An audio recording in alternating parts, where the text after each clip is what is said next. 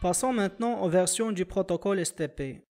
On trouve le protocole STP 802.1d, donc qui est la version générique du protocole STP. Donc ce protocole permet de lancer une seule instance STA pour l'ensemble du réseau ponté, quel que soit le nombre de VLAN dans ce réseau. C'est-à-dire qu'un seul pont racine sera élu même si nous avons plusieurs VLAN. Ainsi, on n'a pas d'équilibrage de charge pour ce type de configuration car le chemin gardé est le même pour tous les VLAN. L'avantage de cette configuration, c'est que l'algorithme STA est lancé une seule fois, ce qui permet d'alléger le processeur des différents commutateurs. La deuxième version du protocole STP est PVST+. PVST+, donc c'est une version proposée par Cisco et utilise une seule instance spanning tree 802.1d séparée pour chaque VLAN. C'est-à-dire que si vous avez un réseau avec trois VLAN, VLAN 10, VLAN 20 et VLAN 30, nous allons trouver trois instances de l'algorithme STA qui vont se lancer. Ainsi, on peut avoir trois ponts racines, un pour chaque VLAN, ce qui permet d'activer un chemin pour un VLAN et le désactiver pour les autres Et c'est ce qu'on appelle l'équilibrage de charge. Mais l'inconvénient de ce type de configuration, c'est le gaspillage en termes de cycle de processeur, car chaque commutateur participe dans trois instances STA au lieu d'une seule instance, comme nous l'avons vu dans la première version 802.1d. Pour ces deux versions, PVST et STP 802.1d, il existe quatre états des ports. Le premier état est l'état de blocage BLK.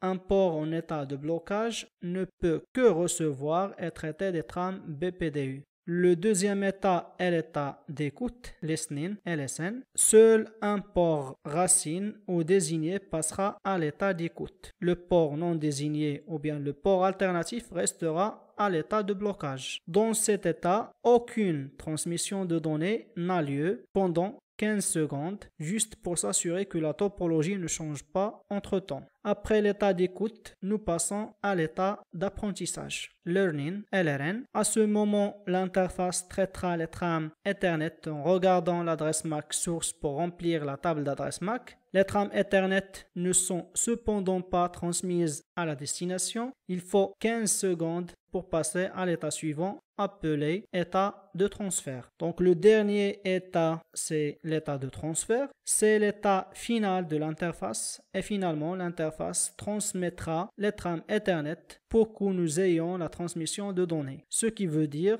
que pour qu'un port passe à l'état de transfert, il lui faut 30 secondes. Donc ici, dans ce tableau, un résumé des différents états des ports PVST+, ou STP802.1d. Une autre information qui est mentionnée ici, c'est la durée d'un port en mode de blocage. Donc, euh, lorsqu'une interface est en mode de blocage et que la topologie change, il est possible qu'une interface qui est actuellement en mode de blocage doive passer à l'état de transfert. Donc, s'il est par exemple euh, un port désigné. Dans ce cas, le mode de blocage va durer 20 secondes avant de passer à l'état d'écoute. Donc cela signifie qu'il faut 20 secondes dans l'état de blocage, plus 15 secondes dans l'état d'écoute, plus 15 secondes pour l'état d'apprentissage. Ce qui veut dire qu'il nous faut 50 secondes avant que l'interface soit dans l'état de transfert. Regardons ces états sur le simulateur Packet Racer.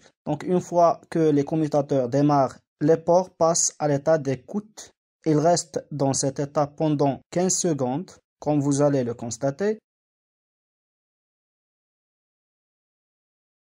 Par la suite, ils passent à l'état d'apprentissage pendant 15 secondes avant qu'ils passent à l'état de transfert. Mais si par exemple le port Ethernet 03 du commutateur S2 devient un port désigné et doit passer à l'état de transfert, dans ce cas, comme vous allez le constater, le port reste en état de blocage pendant 20 secondes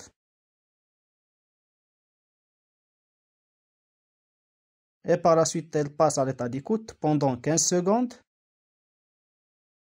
Après, il passe à l'état d'apprentissage pendant 15 secondes Donc, il lui faut 50 secondes pour passer au dernier état, qui est l'état de transfert. Donc, regardons ce schéma qui explique l'équilibrage de charge. Qu'est-ce qu'on veut dire par l'équilibrage de charge? Donc si S0 est le pont racine pour le VLAN 10, alors la liaison qui sera bloquée est la liaison entre S1 et S2. Donc pour que PC0 puisse communiquer avec PC3, il va utiliser le chemin qui passe par S0 puis S2 car les deux ordinateurs appartiennent au VLAN 10. Et pour que PC1 puisse communiquer avec PC2, il va utiliser le chemin actif pour le VLAN 20 qui est le chemin qui passe par S1 puis S2. Donc ici, pour chaque VLAN, on choisit un chemin différent. C'est ce qu'on appelle l'équilibrage de charge. Et c'est l'avantage essentiel de la version PVST Plus de Cisco. Dans ce schéma, je vais vous expliquer ce qu'on veut dire par l'équilibrage de charge. Donc ici, j'ai trois commutateurs S0, S1 et S2 et j'ai deux VLAN, le VLAN 10 et le VLAN 20. Donc je commence tout d'abord par une topologie dans laquelle on n'a pas configuré l'équilibrage de charge. Dans cette topologie, j'ai le commutateur S0 comme commutateur racine pour le VLAN 10 et le VLAN 20. Donc vous pouvez vérifier ceci à l'aide de la commande choose spanning tree. Donc pour le VLAN 10, this bridge is the root, donc c'est le pont racine. Et pour le VLAN 20, this bridge is the root, donc il s'agit du pont racine pour les deux VLAN. Ainsi, Fast Ethernet 02 et Fast Ethernet 03 du commutateur S0 seront des ports désignés pour les deux VLAN. Les deux ports Fast Ethernet 03 de S2 et Fast Ethernet 02 de S1 seront des ports racines. Le segment qui sera bloqué pour les deux VLAN sera le segment qui lie S1 à S2 en bloquant le port Fast Ethernet 03. Donc on peut tester maintenant en mode simulation. Si vous envoyez un paquet entre PC0 et PC3, il va passer par S0, puis S2 avant d'atteindre PC3. Donc c'est le cas du VLAN 10. Donc pour le VLAN 20, si vous envoyez un paquet entre PC1 et PC2, donc il va passer par S1, puis S0, puis S2 avant d'atteindre PC2. Donc c'est le cas du VLAN 20 bien sûr.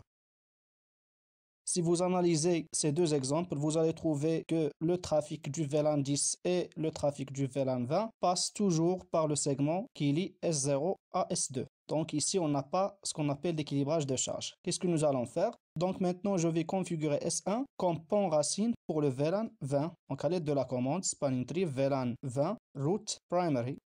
C'est bon? Donc ici, le pont racine du VLAN 10, c'est S0 le pont racine du VLAN 20, ça sera S1. Donc je reviens maintenant au mode temps réel, real time, pour accélérer le processus d'élection du pont racine. Donc c'est bon. Donc maintenant, comme vous le constatez, le port Fast Ethernet 03 qui était en orange, c'est-à-dire en état de blocage, est devenu en état de transfert. Donc je vais vous expliquer comment. Donc maintenant, si vous utilisez la commande show spanning au niveau du commutateur S0, vous allez trouver que pour le VLAN 10, ce commutateur est le pont racine. Et pour le VLAN 20, donc l'ID du pont racine, c'est celui-là. Donc c'est l'ID du S1. Si vous utilisez la même commande au niveau de S1, donc vous allez trouver que pour le VLAN 10, le pont racine a l'ID suivant. Donc c'est l'ID du S0. Et pour le VLAN 20, ce commutateur S1 est le pont racine, bien sûr. Donc maintenant pour le VLAN 10, les deux ports Fast Ethernet 03 et Fast Ethernet 02 de S0 sont des ports désignés. Donc ils vont être en état de transfert. Pour les deux ports Fast Ethernet 02 de S1 et Fast Ethernet 03 de S2 seront des ports racines. Donc ils seront en état de transfert. Et la liaison qui lie S1 à S2 sera bloquée et le port Fast Ethernet 03 de S1 sera un port alternatif ou bien un port non désigné et Fast Ethernet 04 de S2 sera un port désigné. Tout ceci pour le VLAN 10. Donc pour le VLAN 20, S1 est le pont racine. Donc les deux ports Fast Ethernet 02 et Fast Ethernet 03 de S1 seront des ports désignés. Donc ils vont passer à l'état de transfert, bien sûr. Et pour Fast Ethernet 04 de S2 et Fast Ethernet 03 de S0, ils seront des ports racines, donc ils doivent passer en état de transfert. Et bien sûr, la liaison entre S0 et S2 sera une liaison bloquée pour le VLAN 20, bien sûr.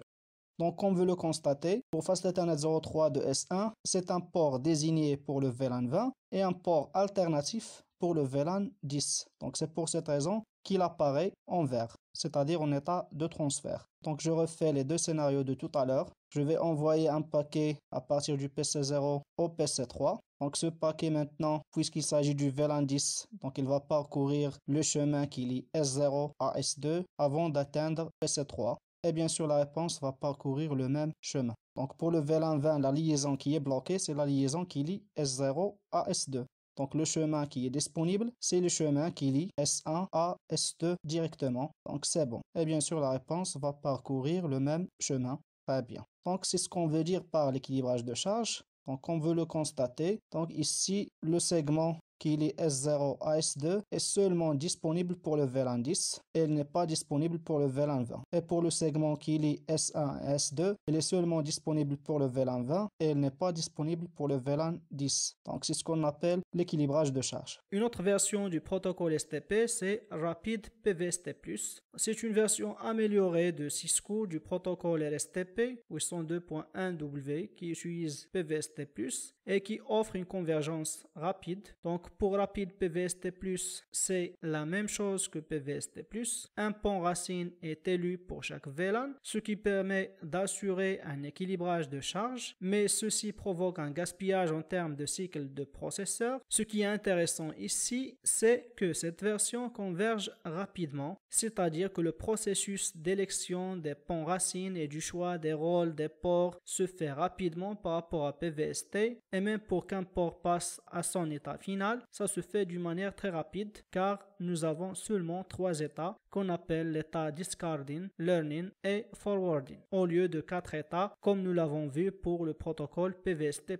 Regardons cette simulation concernant la différence entre le protocole rapide PVST+, et le protocole PVST+, au niveau de la convergence. Donc je commence pour la première simulation par le protocole PVST+.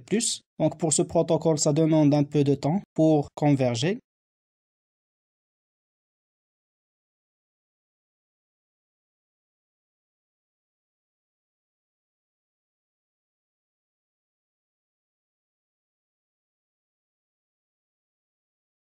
Donc je passe maintenant au protocole rapide PVST+. Donc je vais configurer ce protocole au niveau des trois commutateurs. Donc la commande c'est spanentry mode rapide PVST.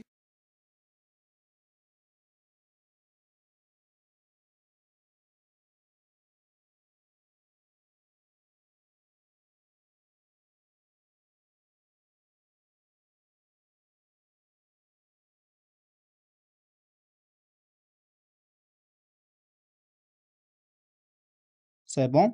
Donc si je lance maintenant l'algorithme STA, donc vous allez le voir, ça converge rapidement.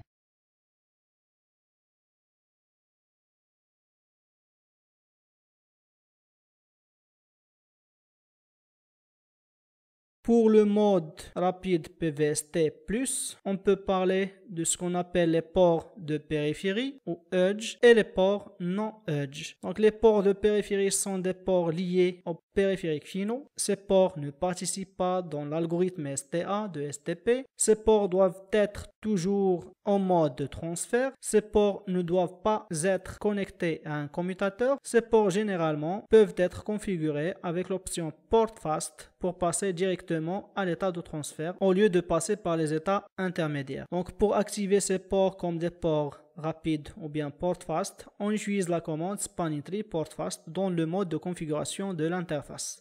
Les autres ports qui forment la liaison entre les commutateurs sont des ports non edge. Passons maintenant à la pratique. Je vais vous parler des ports de périphérie et de la protection BPDU. Donc dans ce schéma, j'ai trois commutateurs, S0, S1 et S2. Pour le commutateur S1, le port de périphérie, c'est le port qui est connecté à l'ordinateur PC1. Donc c'est le port Fast Ethernet 01. Donc je peux utiliser la commande choose tree. Donc notre port c'est celui-là. Donc ce port n'a pas besoin de participer dans l'algorithme STA. Alors il doit passer directement au mode de transfert sans passer par les états intermédiaires. Donc vérifions tout d'abord son comportement avant de configurer ce port comme port rapide. Donc on entre dans le mode de configuration du port Donc je peux utiliser la commande shutdown pour éteindre ce port. Donc c'est bon. Donc je vais allumer ce port, no shutdown. Et comme vous allez le constater, il passe par les états listening, LSN, et par la suite par l'état learning, donc l'état d'apprentissage, LRN, avant d'atteindre l'état final qui est forwarding ou bien l'état de transfert. Donc c'est une perte de temps donc on peut configurer ce port comme port rapide en utilisant la commande spanning tree port fast. Donc je vais éteindre maintenant le port et je vais l'activer, shutdown. Donc on veut le constater, il passe directement en mode de transfert. Donc show spanning tree, vous allez le trouver en mode forwarding. Donc, je fais la même chose pour tous les ports de périphérie. Donc, pour Fast Ethernet 01 de S2 qui est connecté à l'ordinateur PC2, donc je vais utiliser la même commande spanning tree port fast. Donc, si j'éteins le port et je l'active à l'aide de la commande no shutdown, donc comme vous le constatez, il s'active directement. Donc, je fais la même chose avec le port de périphérie Fast Ethernet 01 de S0 qui est connecté à PC0. Donc, la même commande spanning tree port fast c'est bon. Donc si j'éteins et j'active le port, il va s'activer automatiquement sans passer par les états intermédiaires. Donc je passe maintenant à la protection BPDU, mais avant je vais activer le mode simulation et je vais choisir le protocole STP. Donc si je lance les paquets STP, comme vous allez le constater, ces paquets arrivent au niveau des ordinateurs, c'est-à-dire au niveau des périphériques finaux qui n'ont pas besoin d'analyser ces paquets. Donc ce que nous allons faire, c'est que nous allons activer la protection des trames BPDU au niveau de ces ports de périphérie. Donc je vais entrer dans le mode de configuration globale, puis dans le mode de configuration de l'interface Fast Ethernet 01 et nous allons utiliser la commande spanitry BPDU guard enable pour activer la protection BPDU. Donc si maintenant je fais la simulation, donc on veut le constater, les trames BPDU ne sont pas envoyées à l'ordinateur PC1. Donc nous allons faire bien sûr la même chose au niveau de S0 et S2. Donc dans l'interface Fast Ethernet 01, spanning tree BPDU guard enable on fait la même chose au niveau de S2, interface Fast Ethernet 01, donc Spantry BPDU Guard Enable. Donc si vous faites maintenant le test, vous allez constater que les trames BPDU sont envoyées seulement aux commutateurs qui ont besoin d'analyser ces trames. Donc on peut désactiver la protection BPDU à l'aide de la commande Spantry BPDU Guard Disable.